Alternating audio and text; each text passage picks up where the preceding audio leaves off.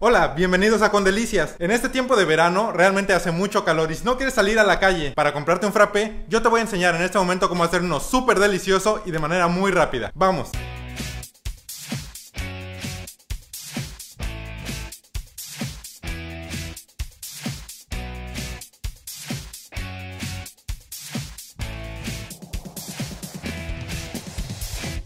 Lo único que vas a necesitar es una licuadora, mucho hielo, dos cucharadas de café, una cucharada de chocolate, una cucharada de azúcar, vainilla y canela al gusto, una taza de leche. Es todo.